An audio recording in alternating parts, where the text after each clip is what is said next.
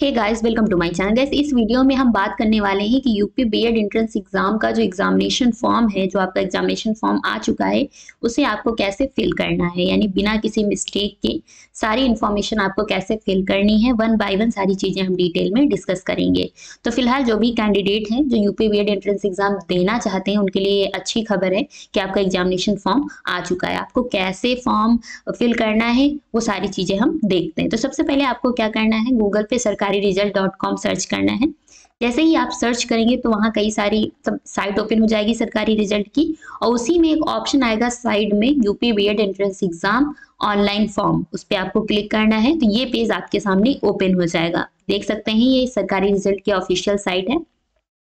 उसके बाद यहाँ सारी इन्फॉर्मेशन दी हुई है कि ऑनलाइन फॉर्म आपका आ चुका है और उसके बाद जो यूनिवर्सिटी है वो बुंदेलखंड यूनिवर्सिटी है, यानी बुंदेलखंड यूनिवर्सिटी कंडक्ट करा रही है। आपका entrance exam UP B Ed entrance exam जो है, और उसके बाद जो एप्लीकेशन फॉर्म है, वो आज से, यानी दस तारीख से फिल होना स्टार्ट हो चुके हैं। इनका लास्ट सबमिशन जो है फॉर्म का, वो तीन तारीख है, यानी तीन मार्च तक आपके फॉर्म फिल किए जाएँगे।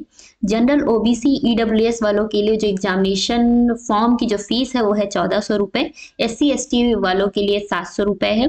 और अगर आप बहुत ज़्यादा लेट कर देते हैं, आप टाइमली सबमिशन नहीं करते हैं तो लेट फ़ीस आपको भरनी पड़ेगी। लेट फ़ीस आपकी दो हज़ार हो जाएगी तो कोई मतलब नहीं है। इससे अच्छा है कि आप पहले ही फॉर्म फिल कर लें। क्यों? ज़बरदस्ती फ़ीस को बढ़ा रहे हैं, क्योंकि ऑलरेडी चौदह सौ रुपये कम नहीं है। तो ये सारी चीज़ें हैं गाइस और उसके बाद यहाँ जो क्राइटेरिया है कि इस एग्जामिनेशन फॉर्म को कौन कौन लोग फिल कर सकते हैं, वो देख लीजिए।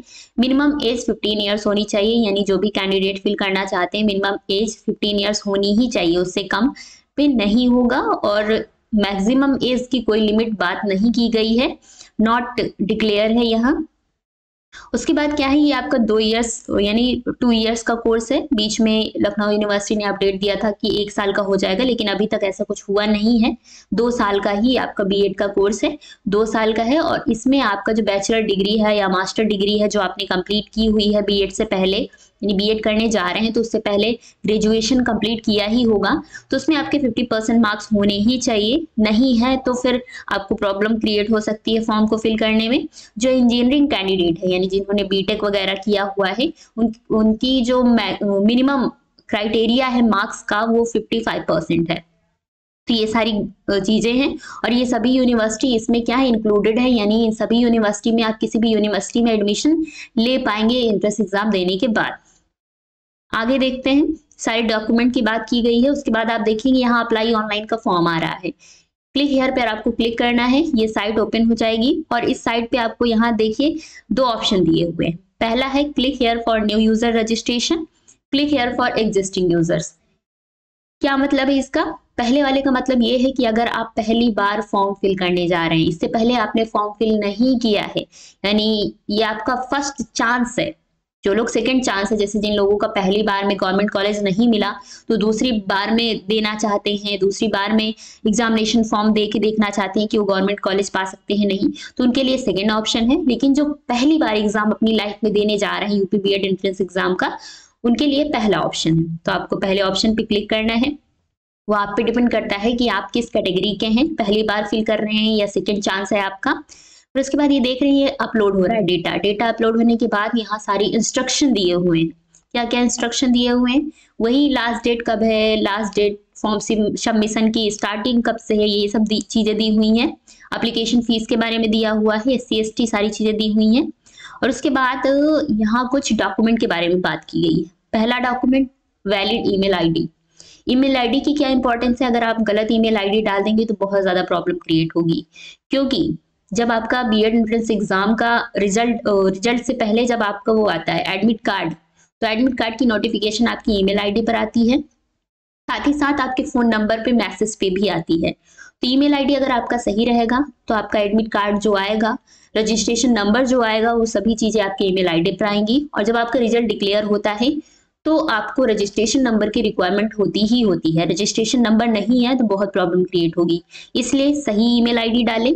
और साथ ही साथ जब आपका काउंसलिंग होती है तो कॉलेज से रिलेटेड अपडेट भी आपको ईमेल आईडी पर मिलती रहती है। आपको मोबाइल नंबर एक्टिव होना चाहिए, क्योंकि कॉलेज आपको कॉल करेगा, जब आपकी काउंसलिंग होगी तो उस टाइम आपके लिए ये अच्छा रहेगा।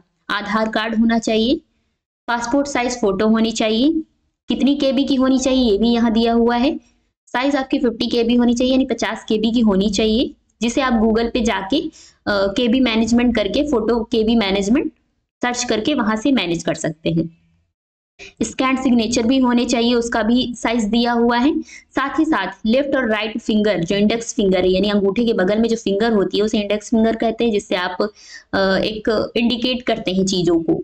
उस फिंगर के स्कैंड होनी चाहिए, यानी स्कैंड फिंगर होना चाहिए होते नहीं स्कैंड फिंगर आपने देखा होगा, जब आप कभी आधार कार्ड जब बनवाने गए होंगे तो वहाँ एक छोटा सा मशीन रहता है, उस पर स्कैन किया जाता है फिंगर्स को।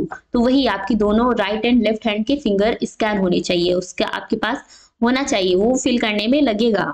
साथ ही साथ फ़ोटो आईडी प्रूफ यानी कोई भी प्रूफ प्रूफ में सबसे आसान यही है आधार कार्ड।